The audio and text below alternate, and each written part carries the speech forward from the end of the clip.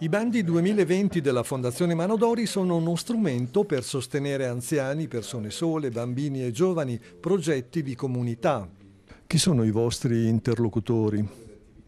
Tutta la comunità, Tutto, tutti coloro che operano al servizio della comunità il welfare di comunità sarà il tema del bando Welcome del nuovo anno, con tre laboratori rivolti alla tutela delle persone vulnerabili, al pianeta giovani, alle aree periferiche e alle zone montane. Fondato sull'idea di andare a sostenere le nuove fragilità sociali. Per Welcome sappiamo che abbiamo erogato circa un milione di euro nel triennio precedente.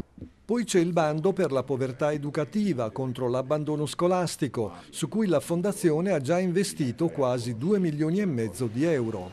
Che è un bando nazionale a cui partecipiamo e che eh, ovviamente fa confluire risorse della Fondazione in un contenitore nazionale che è la Fondazione Noi con i Bambini, Infine il bando Cresco che ha dato frutti come l'inaugurazione della nuova mensa del Vescovo, un centro di ascolto della Caritas nel Palazzo Vescovile, la biblioteca dei canonici, la ristrutturazione del teatro artigiano di Massenzatico. La Fondazione eh, mette 500.000 euro come deposito cauzionale e questi vengono quadruplicati per poter dare ancora sostegno a iniziative che abbiano dei risvolti sociali consistenti in estrema sintesi, lo stato di salute della Fondazione com'è in questo momento?